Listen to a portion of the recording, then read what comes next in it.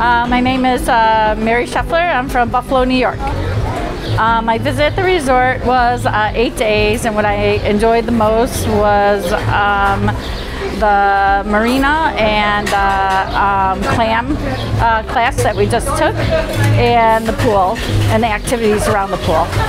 Uh, my favorite activity was the aqua aerobics. I really enjoyed that um, and gives me a chance to drink more and diet less. I recommend anybody to come here. Um, it's a wonderful location and you would have a great time.